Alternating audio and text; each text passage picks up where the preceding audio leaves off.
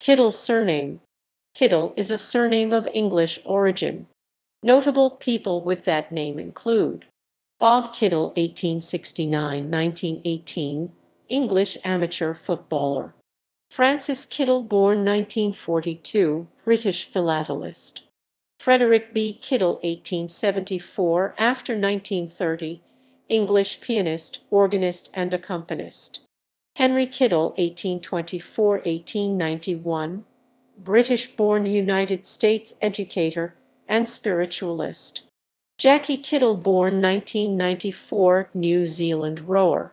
Margaret Loch Kiddle 1914–1958, Australian writer and historian.